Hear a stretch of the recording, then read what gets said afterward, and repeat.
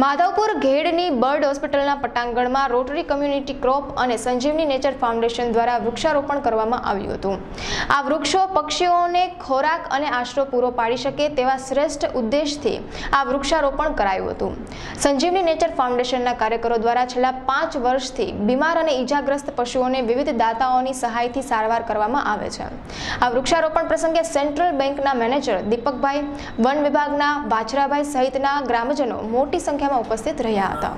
રાજેશ રામાણી આજરોજ અહીં પક્ષી દવાખાનાની અંદર અલગ અલગ પ્રકારના એકાવન છોડવાઓ, એકાવન પ્રકારના વૃક્ષો અહીં વાવવામાં આવ્યા છે.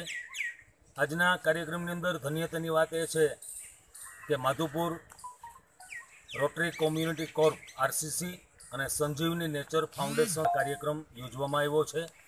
સંજીવની નેચર ફાઉન્ડેશન લગભગ છેલ્લા છ સાત વર્ષથી આ પક્ષીઓની દિન રાત સેવા કરે છે. કોઈ ઘાયલ પક્ષીઓ હોય છે, તો તેની તમામ પ્રકારની પોતે અહીં સેવા કરે છે અને ત્યારબાદ એ પક્ષીને પોતે છૂટું મૂકે છે. અલગ અલગ દાતાશ્રીઓ તરફથી તેમને યોગદાન મળે છે અને સુંદર મજાની આ હોસ્પિટલ, બર્ડ હોસ્પિટલ શરૂ કરવા જઈ રહ્યા છે.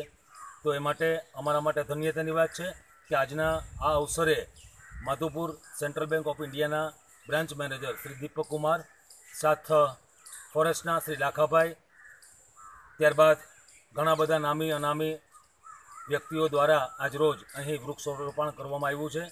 તો આ જ રીતનું અવારનવાર આવા સત્કાર્ય થતા રહે એવી અમારા સર્વની હાર્દિક અભિલાષા છે. ધન્યવાદ.